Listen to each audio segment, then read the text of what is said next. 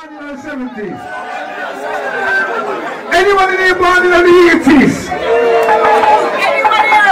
This is the band. Is the If you're born in the 90s or 2000, yeah, and your mama and your papa and your grandmama and your grandpapa should have died out. You should have died oh. home and make them come in on the place and make space. Now my selectors, we move to improve the groove. Second person.